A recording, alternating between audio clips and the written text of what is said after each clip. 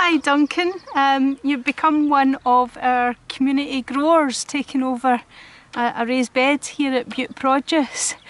Um, how are you getting on with it?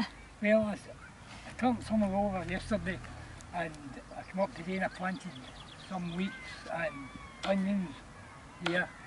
I've got some potatoes down here. Uh, if I can get another half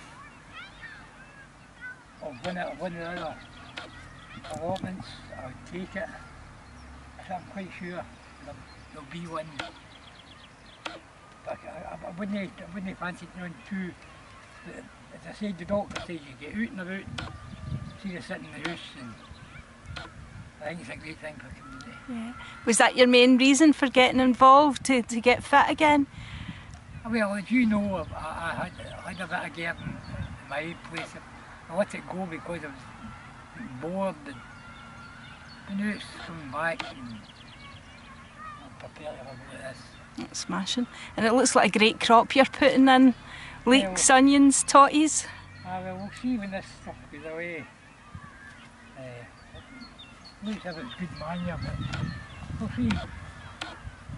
Maybe some out your plate. That would be very nice. That would be very nice. And thank you very much for talking to me today. Right.